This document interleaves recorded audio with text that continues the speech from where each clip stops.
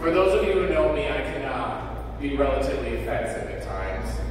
For those of you who may not be okay with certain expletives or other things, Elizabeth and Jose, please cover Aaron's ears. I'm just going to rip off the band-aid with a very large fuck.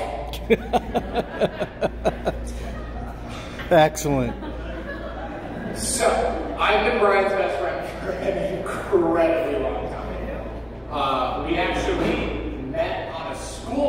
Because I was new in Pawling. And as the new kid, I had to assert my dominance. So some kid was sitting in a seat.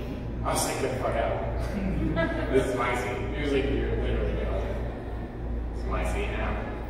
So Brian, being an incredibly kind individual as he always is, defends his friend, who I'm just attacking for no reason as a new kid in the school. Whatever, I'm not a psychopath, whatever. Um, but the very next day, we met up at the bus stop, and he apologized to me like a gentleman, and that was the starting point of our friendship from